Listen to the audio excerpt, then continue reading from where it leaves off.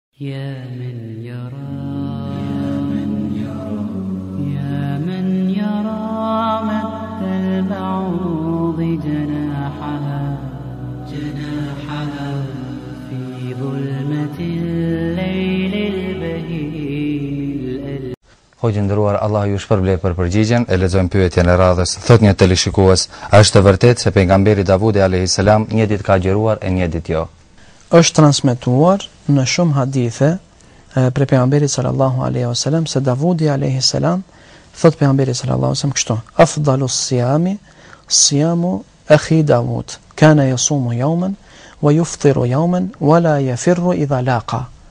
Që thotë agjërimi më i mirë Thot pejgamberi sallallahu alaihi wasallam, agjërimi më i mirë është agjërimi i vëllaut tim Davudit, i cili një ditë agjëronte dhe një ditë jo, dhe nuk ikte nga fushbeteja. Domethënë e ka përmendur edhe një virtyt tjetër të Davudit alayhis salam. Po ashtu domethënë është përmendur edhe nëpër hadithe të tjera kështu në këtë formë. Thotë pejgamberi sallallahu afdalu siyami siyamu Davud.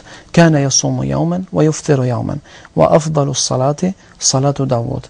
Kana yanamu nisfa nisfa al-layl wa yakumu thuluthahu wa yanamu sudusahu. Që thot, agjërimi e përmenda hadithin komplet që thot agjërimi më i mirë është agjërimi i Davudit, i cili një ditë agjëronte dhe një ditë nuk agjëronte.